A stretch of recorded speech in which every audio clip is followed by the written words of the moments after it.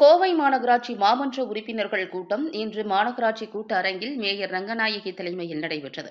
இக்கூட்டத்தில் சொத்து வரி உயர்வுக்கு எதிர்ப்பு தெரிவிக்கும் வகையில் அதிமுக கவுன்சிலர்கள் நூதன முறையில் போராட்டம் நடத்தினர்.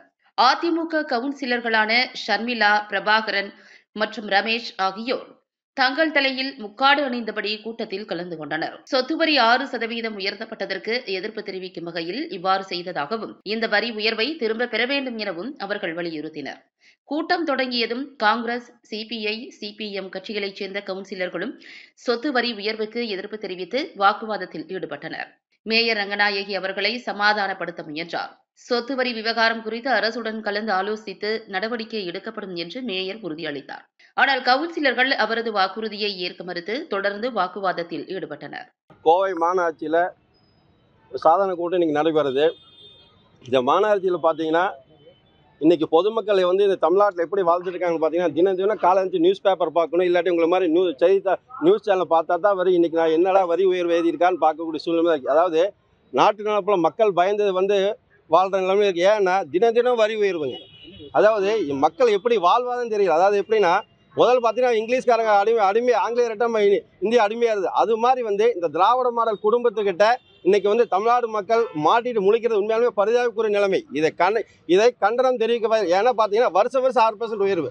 ஏப்பா அதாவது ஒன்று நாள்லேருந்து ஏற்றணும் அதாவது இவங்க என்ன சொல்கிறாங்க அரசோட ஆணை இருபத்தி ரெண்டு ரெண்டாயிரத்தி இருபத்தி ரெண்டுலேருந்து இது மாதிரி வருஷம் ஆறு பர்சன்ட் ஏற்றணும்னு சொல்லி ஜீவா இருக்குன்னு சொல்லி சொல்லி இந்த மாநகராட்சியில் வரி உயர்வு ஏற்றுறாங்க ஆறு பர்சன்ட் வருஷம் வருஷம் ஏற்றுறான்னு சொல்லி இந்த வருஷம் ஏற்றிருக்காங்க ஏன் ஒன்று அதாவது இவங்க அதாவது இவங்க இவங்க போட்ட சட்டத்தின் படி பார்த்தா ஒன்று நாலு ரெண்டாயிரத்தி இருபத்தி நாலுலேருந்து ஏற்றணும் வரி ஏற்றணும் ஏன் செப்டம்பர்லேருந்து ஏற்றுறாங்க அப்போ உங்களுக்கு எம்பி எலெக்ஷன் வந்துருச்சு மே மாதம் அதுக்கு அதை கருத்தில் கொண்டு ஏப்ரல் மாதம் ஏற்ற மக்கள் வந்து கொந்தளிச்சு போயிடுவாங்கன்ட்டு இன்றைக்கி செப்டம்பரில் ஏற்றுறாங்க அப்போ ஏ மக்களை ஏமாற்றிட்டு இருக்கிற திமுக அதை வந்து மக்களுக்கு வெளிச்ச மூட்டை காட்ட தான் இங்கே முக்கார் போட்டு ஏடிஎம் கார் வந்திருக்கோம் அதாவது ஒரு படத்தில் பார்த்தீங்க அப்படின்னா வடிவேல வந்து ஒரு காமிப்பாங்க. ஒரு வண்டிக்குள்ளே வச்சு கிட்னி கழிச்சு விடுமா? அதை நம்பி வாங்க வந்து ஏன் வாங்க வாங்கன்னு சொல்லி கூ உள்ளே கூப்பிட்டு மக்களை கருத்தெழுத்து விடுறது தான் திராவிட மாடல் அரசு. இப்போ பார்த்தீங்கன்னா இந்த மா மாவட்டத்தில் வந்து ஒரு மேயருக்கு மே- அதாவது என்னென்னா ம- நூறு கவுன்சிலர் இங்கே கோயம் மாநகரத்தில் இருக்காங்க. முந்நூறு கவுன்சிலர் சேர்ந்து ஒரு தீர்மானத்தை வேண்டாம்னு சொல்லி போன கடந்த மா கடந்த மாதம் ஒத்தி வைக்கிறாங்க. அதாவது என்ன அப்படின்னா ஒரு ஸ்கொயர் ஃபீட்டுக்கு நாற்பது ரூபா தான் முதல் ஏடிஎம் காலத்துலேருந்து இப்போ இவங்க வந்து எண்பத்தெட்டு ரூபா ஸ்கொயர் ஃபீட்டுக்கு பண்ணிட்டு மூணாயிரத்தி ஐநூறு ஸ்கொயர் ஃபீட் வரைக்கும் அது எண்பத்தெட்டு ரூபான்னு இருக்குது. மிச்சதுக்கெல்லாம் மூணாயிரத்தி ஐநூற்றி ஒன்றுக்கு மேலே நாற்பது ரூபா தான் இருக்குது. அதாவது பிளானபிள் சார்ஜ் ஸ்கொயர் ஃபீட்டுக்கு அது அந்த எண்பத்தெட்டு ரூபா வந்தது வந்து கோவை மாநகர கூட்டத்தில் போன மாதம் நடந்த கூட்டத்தில் வந்து ஒத்தி வச்சுதுங்க.